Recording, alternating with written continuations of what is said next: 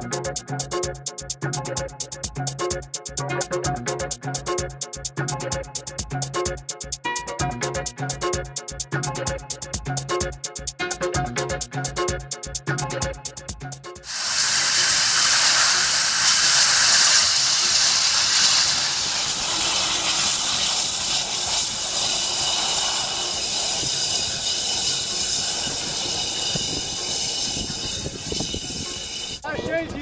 importance of maintaining your valves correctly. You know, there's schedules for maintaining them.